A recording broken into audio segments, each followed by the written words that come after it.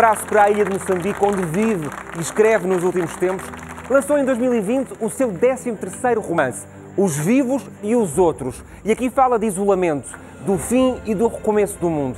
Esta é uma boa reflexão para estes tempos estranhos que vivemos, que parecem ter saído de páginas de livros de ficção científica meio esquisita. É, é uma boa reflexão? Boa noite.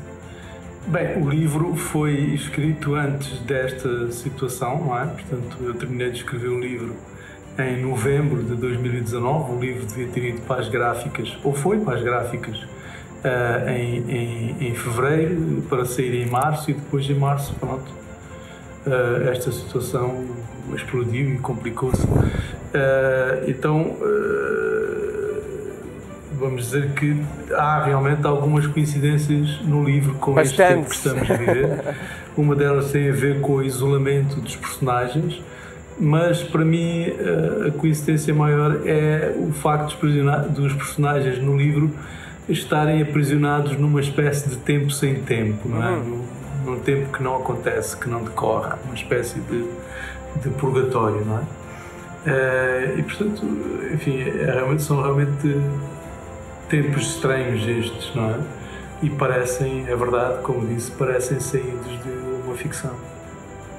Apesar destas restrições, conseguiu participar em diversos eventos literários internacionais.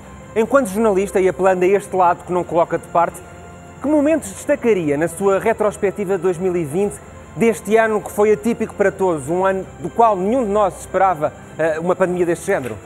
Bem, uh, uh, sim, do ponto de vista de literário, não é? Este, este, este ano foi um ano, obviamente, desastroso para, para para os festivais literários, embora eles tenham continuado a acontecer, como disse, até aconteceram vários e outros que não, que não existiam, mas foram feitos especialmente preparados para este tempo, portanto, aconteceram através bem, da internet, não é? eventos não, não presenciais. Até um momento em que havia, uma altura em que havia demasiados, eu, eu fiquei cansado de fazer tantos eventos. Uh, mas não é realmente, não é a mesma coisa, é, um, é uma sensação estranha porque não há, uh, a gente até eventualmente pode conversar, por exemplo, com os leitores, não é?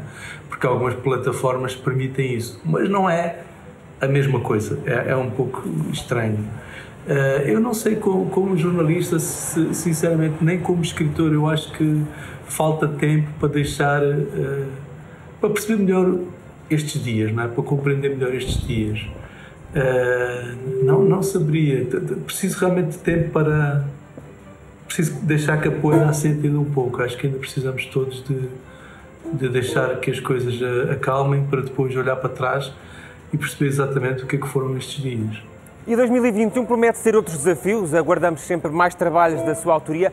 Que mensagem é que gostaria de deixar para todos os que nos estão a acompanhar nesta passagem de ano meio frenética, eh, aqui um bocadinho por todo o continente? Que mensagem é que gostaria de deixar eh, esta noite para tantos telespectadores? Eu acho que, que talvez mais do que nunca esta passagem de ano uh, sirva para refletir. Não é? Acho que este ano, uh, se serviu para alguma coisa, foi para todos nós refletirmos sobre o nosso papel uh, neste mundo, o que é que estamos todos aqui a fazer, não é? E como estamos a fazer e o que é que podemos eh, fazer para evitar outras tragédias semelhantes a esta, porque esta tragédia eh, tem um lado que é também da responsabilidade da humanidade, ou seja, isto que nos está a acontecer é responsabilidade nossa.